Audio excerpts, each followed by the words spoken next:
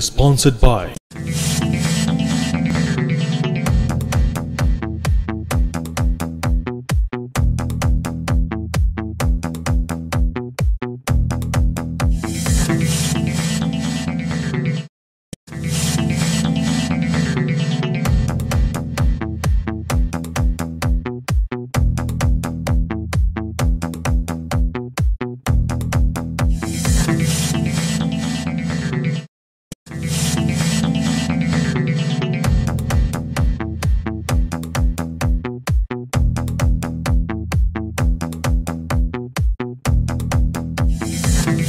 तैयारी आपको झलक रहा होगा।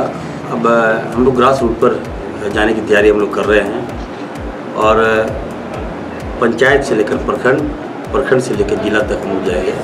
अब बीती हुई बातों को हम लोग भूलकर कांग्रेस पार्टी ग्राम ग्रास रूट पर काम करेगी और अब आप लोगों को शिकायत का मौका नहीं मिलेगा। कौन क्या कर रहा है, नहीं कर रहा है, सब ढकोसला है, मुझे उस पर नहीं जाना है। भारतीय जनता पार्टी के लोग अगर घर में भी जाएँगे तो लोग घुस नहीं देगा जनता।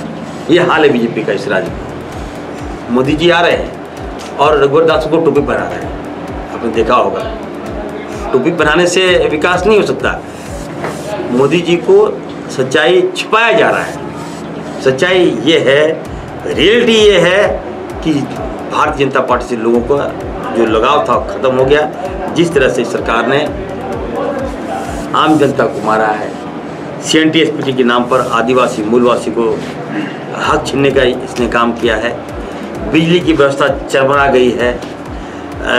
N M G N M बारह सारे विंग लोग नाराज़ हैं। भारतीय जनता पार्टी के हमको लगता है लगभग तीस विधायक हार रहे हैं।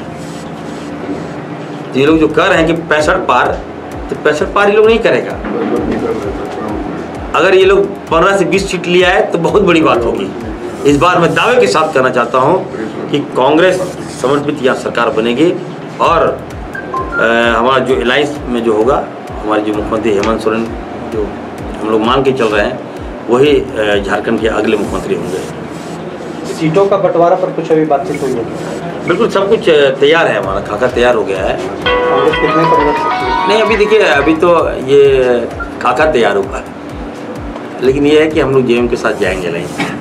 तो बता रहे हैं एम एक्ट जो ये लोग जबरन लागू किया। इसका मकसद यही है कि हम कैसे जनता का पैसा छीने, आपका पॉकेट से पैसा निकाल लें आपको मैं बताना चाहता हूँ, एक चार रोज पहले की घटना मैं बता रहा हूँ। दो आदिवासी लोग सड़क पर बैठा हुआ था। मेरी गाड़ी जा रही है, मुझे रोका गया। कहा, सर, रुकिए रुकिए रुकिए। हमने कहा, क्या बात है भाई, बताओ। बोला, सर, देखिए, मेरा मोटर मेरा मोटरसाइकिल पुलिस ने ले लिया और पच्चीस हज़ार फाइन कर दिया। हमने कहा, क्यों भाई? कहा, मेरे पास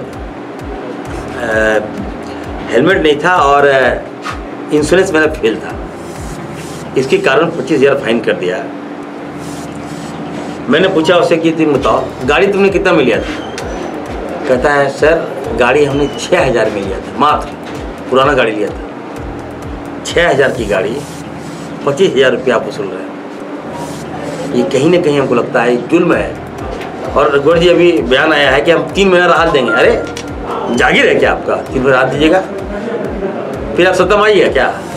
इनका ये लोग सपना देख रहा है कि हम तीन महीना के बाद फिर जनता से ये एक्ट लागू करेंगे, फिर वसूलेंगे। चुनाव है, इसलिए राहत दे रहे हैं आप। जितना इतना मूर्ख है क्या?